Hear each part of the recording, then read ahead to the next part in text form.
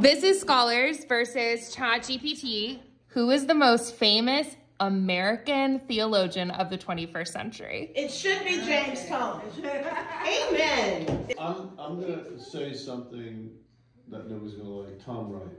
Okay. I actually had that thought. I had that thought, but She said American. oh, you did say American. Oh, American. Yeah. He's sort of American. Did you say? I will say that I did say American, but ChatGPT did not listen What? Oh. because NT Wright is number one. Ah! What about Walter Brueggemann?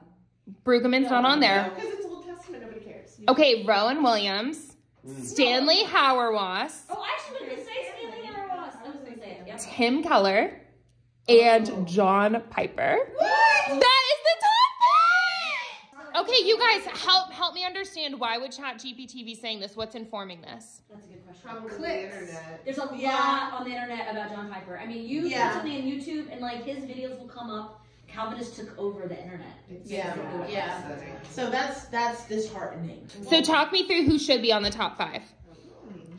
James James Cone. Cone. Uh, I would put Willie Jennings in there. Mine too. He's my number one. I put Walter Brueggemann. Yeah, yeah. Walter Brueggemann.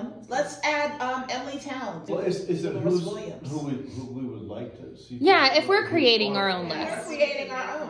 Mm-hmm. Shane Claiborne. Oh, a little angel. Yeah, yeah, he would be. Rachel Held Evans. Yeah. Yeah,